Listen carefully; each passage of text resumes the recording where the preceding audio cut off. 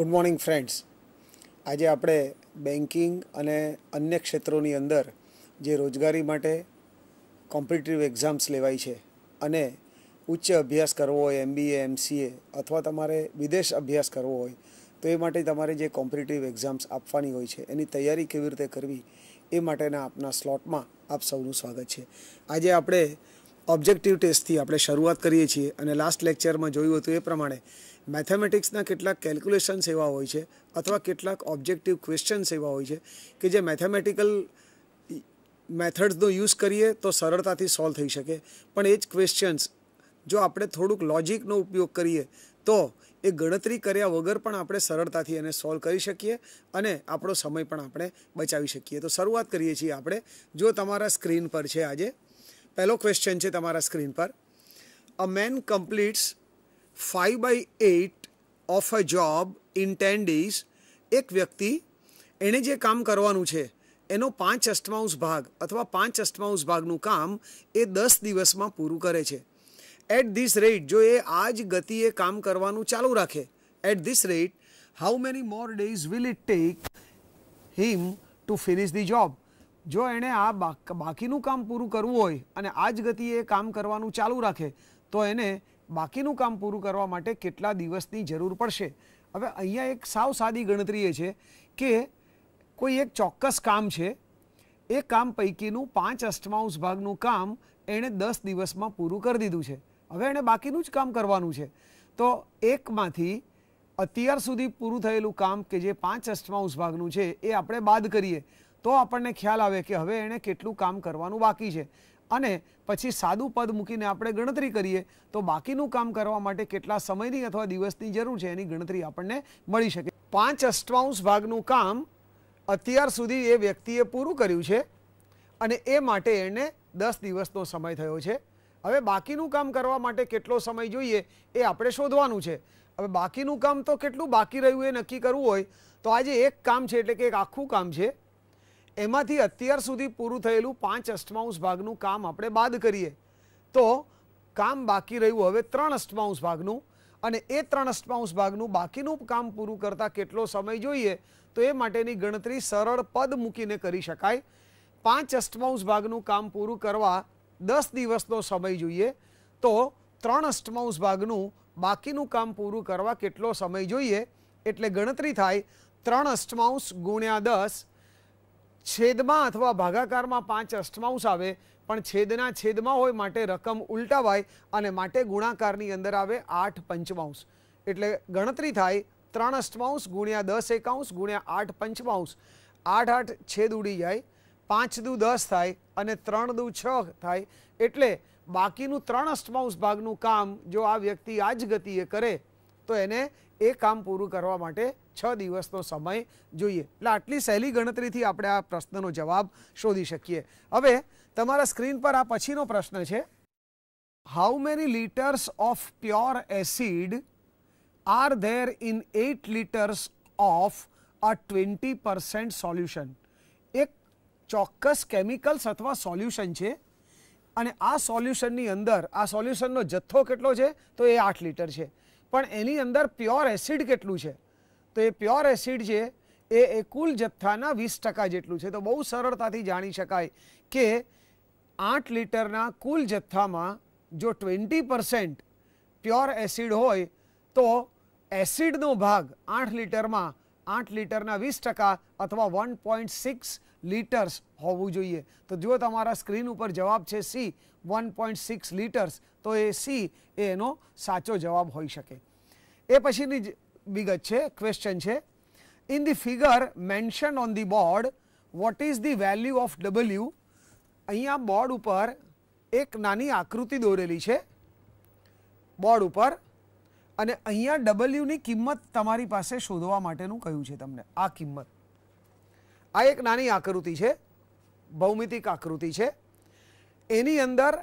આ ખૂણાની ખૂણાનું માપ આપ્યું છે એ ખૂણો ચાલીસ અંશનો છે આ એક ત્રિકોણ છે. એની સાથે જોડાયેલો આ બીજો ત્રિકોણ છે. આ બીજા ત્રિકોણના પણ એક ખૂણાનું માપ આપ્યું છે ત્રીસ અંશ છે. અને આપણને કહ્યું છે કે આ જે ડબલ્યુ છે અથવા આ જે ખૂણો છે, મારી આંગળી મૂકી છે તે ડબલ્યુ એ ખૂણાનું માપ કેટલા અંશનું હોવું જોઈએ એ આપણો પ્રશ્ન છે. આપણે ભૂમિતિના સિદ્ધાંતોનો ઉપયોગ કરી આપણે આ ગણતરી કરવાની છે. આપ સૌ જાણો છો કે કોઈ પણ ત્રિકોણ હોય તો એને ત્રણ ખૂણાઓ હોય અને આ ત્રણ ખૂણાઓનો સરવાળો ઓલવેઝ એકસો ને એંસી અંશ થાય. આ જે ત્રિકોણ છે, એ પૈકી આ જે ખૂણો છે, એ આપ જોઈ શકો છો કે એ કાટકોણ છે, એટલે નેવું અંશનો ખૂણો છે આ. આ નેવું અંશનો ખૂણો છે. અને જો ત્રિકોણના ત્રણેય ખૂણાનો સરવાળો એકસો એંસી અંશ થતો હોય, એ પૈકીના બે ખૂણાની વિગત આપણી પાસે છે તો એ બે ખૂણાની રકમ અથવા એના અંશ આપણે બાદ કરીએ તો આ જે ત્રીજો ખૂણો જેને આપણને એનું માપ આપણને ખબર નથી, એ આપણને પ્રાપ્ત થાય. તો ત્રણેય ખૂણાના કુલ અંશ હોય એકસો એંસી, એમાંથી ચાલીસ ને નેવું, એકસો ત્રીસ અંશ બાદ કરીએ બે ખૂણાના. તો એનો અર્થ એ કે આ જે ખૂણો આપ્યો છે, એ પચાસ અંશનો હોવો જોઈએ. તો આ એક વિગત મળી. હવે જો આ ખૂણો પચાસ અંશનો હોય તો એક્ઝેક્ટલી એની સામેના ત્રિકોણ સાથે જોડાયેલો ખૂણો પણ પચાસ અંશનો જ હોય. એ માટેનો નિયમ શું? તમને એમ થાય કે આ નિયમ કેવી રીતે? અથવા આ કેમ સાચું છે? સાચું એ રીતે કે માનો કે એક આ રેખા છે. આ રેખા. આ રેખા ઉપર આ રીતે રેખાને કાપે છે અને અહીંયા જો પચાસ અંશનો ખૂણો બનતો હોય તો આ રેખા ઉપર આ બિંદુ ઉપર કુલ એકસો એંસી અંશના ખૂણો બને આ એકસો એંસી અંશ હોય એમાંથી આ પચાસ અંશ બાદ કરીએ તો આ જે ખૂણો બાકી રહે એ એકસો એંસી ઓછા પચાસ કરીએ તો આ એકસો ત્રીસ અંશનો હોય હવે આ એક બીજી રેખા છે તો આ બિંદુ ઉપર આ રેખા એકસો એંસી અંશની હોય એમાંથી આ એકસો ત્રીસ અંશ બાદ કરીએ તો આટલો જે ખૂણો મળ્યો એ પાછો પચાસ અંશનો હોય. એટલે સામસામેના ખૂણા આ નિયમ અનુસાર એ સરખા અંશના હોય, આ પચાસ અંશનો હોય. હવે આ ખૂણો આપણને આપી દીધો છે કે આ ત્રીસ અંશનો છે. તો ફરી એ જ નિયમનો આપણે ઉપયોગ કરીએ કે કોઈપણ ત્રિકોણના ત્રણ ખૂણાનો સરવાળો એકસો એંસી અંશ હોય, એ પૈકી બે ખૂણાની વિગત આપણી પાસે છે. આ ખૂણો ત્રીસ અંશનો છે, બીજો ખૂણો પચાસ અંશનો છે. કુલ એંસી અંશ એમાંથી બાદ કરીએ. તો આ જે ખૂણાની વિગત આપણને શોધવાની કઈ છે ડબલ્યુ એ સો અંશનો ખૂણો હોવો જોઈએ એટલે બે નિયમોનો ઉપયોગ કરીએ તો આપણને એનો સાચો જવાબ મળશે એ પછીની વિગત તમારા બોર્ડ પર સ્ક્રીન પર which of the two assumptions is correct તમને અહીંયા બે એઝમ્પશન આપ્યા છે બે ધારણાઓ આપી છે અને એ બે ધારણાઓ પૈકી કઈ ધારણા સાચી છે એ તમારે નક્કી કરવાનું છે એ માટે તમને બે સ્ટેટમેન્ટ આપ્યા છે તો સ્ટેટમેન્ટની અંદર કહ્યું છે when one large industry closes in India ભારતની અંદર આવેલી આવેલી કોઈ મોટી ઇન્ડસ્ટ્રી અથવા કોઈ મોટું ઔદ્યોગિક એકમ જો બંધ થઈ જાય એ પોતાનું કાર્ય બંધ કરે અથવા વિસર્જનમાં જાય ધંધો બંધ કરે એ સંજોગોની અંદર at least thirty to forty suppliers એટલે આ જે ઉદ્યોગ છે એને કાચો માલ અને અર્ધ તૈયાર માલ વેચનાર જે વેપારીઓ છે અથવા જે ઉત્પાદકો છે જેને સપ્લાયર્સ કહેવાય એવા ત્રીસ કે ચાલીસ સપ્લાયર અને એન્સિલરી યુનિટ્સ આર હિટ એટલે એક મોટું ઔદ્યોગિક એકમ જો ભારતની અંદર બંધ થઈ જાય તો ત્રીસથી ચાલીસ સપ્લાયર્સ અને આવા એન્સિલરી યુનિટ્સ એટલે એને સેવા આપતા જે યુનિટ્સ છે એ પણ હિટ થાય અથવા એને અસર થાય એટલે જો ઉદ્યોગ બંધ થાય મોટો ઔદ્યોગિક એકમ તો આવા નાના એકમો અથવા સપ્લાયર્સ પણ પોતાનો ધંધો ગુમાવે છે અને એ ધંધો પણ બંધ થાય હવે નીચે એઝમ્પશન્સ આપ્યા છે કે આ એના એઝમ્પશન શું એ all suppliers and ancillary units in India are not dependent on large units આપણને એમ કહ્યું છે કે all suppliers and ancillary units in India are not dependent on large units તો આપ જોઈ શકો છો કે ઉપર જે આપણને સ્ટેટમેન્ટ આપ્યું છે એ સ્ટેટમેન્ટનો અર્થ એવો થાય છે કે જો એક મોટું ઔદ્યોગિક એકમ બંધ થાય તો એ ઉદ્યોગ સાથે જોડાયેલા નાના નાના એકમો અને સપ્લાયર્સ આ જેની સંખ્યા આશરે ત્રીસ કે ચાલીસ હોય એ પણ પોતાનો ધંધો ગુમાવે છે એનો અર્થ એવો થાય કે આવા સપ્લાયર્સ અને એન્સિલિયરી યુનિટ્સ એ મોટા ઔદ્યોગિક એકમના આધારે જ પોતાનું અસ્તિત્વ જાળવી શકે છે તો અહીંયા એઝમ્પશન્સ પહેલું એ આપ્યું છે તમને એ કે all suppliers and ancillary units in India are not dependent on large units તો એ બિલકુલ ખોટું છે દે આર ડિપેન્ડન્ટ ઇન્ડિપેન્ડન્ટ છે જ નહીં નોટ ડિપેન્ડન્ટ મીન્સ ઇન્ડિપેન્ડન્ટ તો એ સ્વતંત્ર નથી એ એમના ઉપર આધારિત છે બી જે છે ancillary units can not exist in isolation કોઈ પણ આવું નાનું સેવા આપતું એકમ અથવા એન્સિલરી યુનિટ પોતાના સ્વતંત્ર વ્યવહારથી કે અસ્તિત્વ પોતે બજારમાં જાળવી શકે નહીં કારણ કે આવા નાના યુનિટે પોતે જે નાની વસ્તુ અથવા એકમ બનાવતા હોય એ મોટા ઔદ્યોગિક એકમને વેચવામાં આવે મોટું ઔદ્યોગિક એકમ આવા નાના નાના ઉત્પાદકો પાસેથી અલગ અલગ પાર્ટ્સ મેળવે એને એસેમ્બલ કરે કે એનું જોડાણ કરે અને પછી એમાંથી કોઈક નવી વસ્તુ બનાવીને એનું વેચાણ કરે ત્યારે આવા નાના નાના ઔદ્યોગિક એકમો પોતાનું અસ્તિત્વ જાળવી શકે એટલે ઇન્ડિપેન્ડન્ટ અસ્તિત્વ જાળવવું એ નાના નાના ઔદ્યોગિક એકમ કે જેને કહેવાય છે એન્સિલેરી યુનિટ્સ એ વેન્ડર અથવા સપ્લાયર કહેવાય તો એમના માટે મોટા ઔદ્યોગિક એકમ સાથેનું એમનું જોડાણ જ એમના અસ્તિત્વની સાબિતી બને છે એટલે બી જે છે એ it will be the correct answer એ પછીની વિગત આપી છે તમારા સ્ક્રીન પર પછીનો ક્વેશ્ચન છે અગેન આ જ જેવો આના જેવો જ which of the two assumptions is correct પણ એ માટે તમને એક વિગત આપી છે instruction on the cover page of a book આપ દરેક જણને ખબર છે આપને કે કોઈ પણ બુકના ફર્સ્ટ પેજ ઉપર આ પ્રકારની વિગત પ્રિન્ટ કરેલી હોય છે અને એ સૂચના જેવી અથવા જાહેર નોટિસ જેવી વિગત હોય છે અને જો તમારા સ્ક્રીન પર એ વિગત લખેલી છે ઓલ રાઇટ્સ રિઝર્વડ આ પુસ્તકમાં જે કોઈ લખાણ છે એના તમામ હક અધિકારો એ રિઝર્વડ અનામત રાખવામાં આવ્યા છે no part of this book may be reproduced by any means without prior permission by the author or authors એક લેખક હોય કે એક કરતાં વધારે લેખક હોય એ જ્યાં સુધી તમને મંજૂરી આપે નહીં ત્યાં સુધી આ પુસ્તકની અંદર જે કંઈ લખાણ આપવામાં આવ્યું છે એનો કોઈ પણ ભાગનો કોઈ પણ રીતે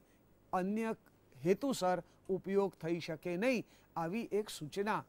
દરેક બુક્સની અંદર આપવામાં આવે છે એનો અર્થ એવો થાય કે આ જે મેટર જે છે એ ઓરિજિનલ છે લેખકોનું. લેખકોએ પહેલી વખત લખ્યું છે, કોઈ ક્યાંયથી કટ કોપી પેસ્ટ કરેલું નથી, કોઈમાંથી ઉઠાવીને સીધું એને રીકોપી કરેલું નથી, અથવા બે ત્રણ જણાનું લખાણ જે હોય, અથવા બીજી બુક્સ હોય, એને ભેગી કરી કે એરેન્જ કરીને લખેલું નથી. અને જ્યારે આવું પોતાનું મૌલિક લખાણ હોય, ત્યારે જ કોઈ લેખક આ લખાણની કોપી કરવા માટે પોતાનો અધિકાર અબાધિત અધિકાર તરીકે અનામત રાખી શકે માનો કે મેં કોઈ બીજામાંથી ઉપાડીને અથવા બીજાની કોપી કરીને મેં જો કોઈ લખાણ તૈયાર કર્યું હોય તો એના ઉપર મારો અધિકાર રહેતો નથી પણ જો એ મારું મૌલિક લખાણ હોય બીજા કોઈનું લખાણ એમની અંદર એડ થયેલું ના હોય તો એ સંજોગોની અંદર મારા મૌલિક લખાણ ઉપર હું એનો ઉપયોગ બીજા કોઈ ન કરે એવો અધિકાર હું ચોક્કસ ધરાવું છું તો હવે તમને એઝમ્પશન્સ આપ્યા છે નીચે એ the book consist of original writings by the author or authors એમનું ઓરિજિનલ રાઇટિંગ છે આ તો બિલકુલ સાચી વાત છે પણ બી પાર્ટ જે છે B assumption many people may reproduce the material and claims its originality ઘણા માણસો એવા હોય છે કે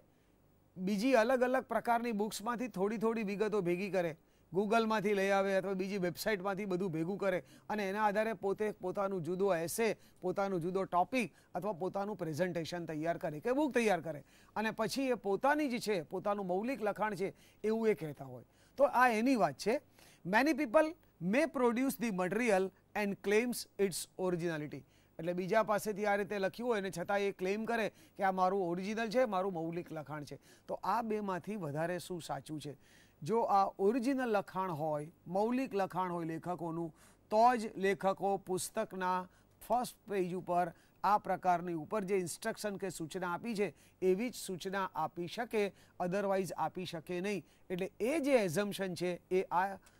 સૂચના માટે સાચું છે એ પછીનો ક્વેશ્ચન છે again which of the two assumptions is correct the Sandhan movie company એક કંપનીનું નામ છે જેનું નામ છે સંધાન મૂવી કંપની એટલે ચલચિત્ર બનાવતી આ કંપની છે હેઝ ડિસાઇડેડ ટુ રીઇસ્યુ એમણે એક એવું નક્કી કર્યું છે નિર્ણય લીધો છે શું ટુ રીઇસ્યુ એટલે ભૂતકાળની અંદર કોઈ મૂવી એમણે બનાવેલું ચલચિત્ર બનાવેલું અને એ જાહેર જનતાને પ્રદર્શિત કરેલું હવે અમુક સમયગાળો વીતી ગયા પછી એ મૂવી ફરીથી ચલચિત્ર તરીકે લોકોને બતાવવું, પ્રદર્શિત કરવું, એવો એ નિર્ણય લે છે. એટલે ભૂતકાળની અંદર જો એ ફિલ્મ સફળ થઈ હોય, તો એને ફરીથી એને રિલીઝ કરવામાં આવે, તો ઓડિયન્સ મળે, તો દર્શકો મળે, અને તો જ એ ફિલ્મ ફરીથી દર્શાવવામાં પણ આપણને સફળતા મળે અને આવક મળે. પણ એની સાથે બીજો પણ મુદ્દો હોઈ શકે કે ભૂતકાળની ફિલ્મ સફળ હોય પણ એ પછી બનાવેલી અથવા નિયર પાસ્ટ જેને કહીએ છેલ્લા બે ત્રણ ચાર વર્ષ દરમિયાન જે ચલચિત્રો આ કંપનીએ બનાવ્યા હોય એ જો ફેલ ગયા હોય નિષ્ફળ ગયા હોય લોકોને આકર્ષવામાં અને પોતાની બ્રાન્ડ ઇમેજ ટકાવી રાખવા માટે કે પોતાનું નામ બજારની અંદર દર્શકો વચ્ચે ટકાવી રાખવા માટે જો કંપની પોતાની ભૂતકાળની અંદર સફળ થયેલી ફિલ્મ ફરીથી રિલીઝ કરવા માંગતી હોય તો એવું પણ કારણ હોઈ શકે આપ જાણો છો કે સિક્વલ બનાવવાનો એક અત્યારે મેનિયા ચાલે છે સિક્વલ એટલે કોઈ એક સફળ મૂવી હોય તો એના અનુસંધાન લગભગ એના જ જેવી સ્ટોરી સાથેની અને લગભગ એ જ કલાકારો સાથેની એના જેવી જ બીજી મૂવી બનાવવાના અથવા movie number one two three એમાં એક આખી સિક્વલ બનાવવાનો એક અત્યારે મેનિયા ચાલે છે તો એક સફળતા એ બીજી ફિલ્મને જન્મ આપે છે તો અહીંયા એની સાથે જોડાયેલો આ પ્રશ્ન છે the Sandhan movie company has decided to reissue its old movies of two thousand nine ten and ten eleven નવ દસ અને દસ અગિયારની અંદર જે બહુ સફળ થયેલી મૂવી હતી ચલચિત્રો હતા એ હવે ફરીથી બતાવવાનું વિચારે છે for a silver screen return આ જે ચલચિત્ર જે છે એની જે ટેકનોલોજી છે એ સિલ્વર સાથે જોડાયેલી છે અને માટે એને સિલ્વર સ્ક્રીન કહેવાય છે અને બીજા રીતે કે જો આ ચલચિત્ર પચીસ હપ્તા અથવા પચીસ અઠવાડિયા જો થિયેટરની અંદર પ્રેક્ષકો આકર્ષી શકે તો એને સિલ્વર જ્યુબિલી ઉજવી એમ કહેવાય તો એક બહુ મોટું એક બહુમાન છે એટલે માટે એને સિલ્વર સ્ક્રીન તરીકે ઓળખાય છે ટેકનોલોજી પણ ચાંદી અથવા સિલ્વર સાથે જોડાયેલી છે એના બેઝ તરીકે એને વાપરવામાં આવે છે અને એક સફળ ફિલ્મ માટે પચીસ અઠવાડિયા એ થિયેટરમાં પ્રદર્શિત થાય તો એ પણ એનું એક બહુમાન છે તો એ એ રીતે બે રીતે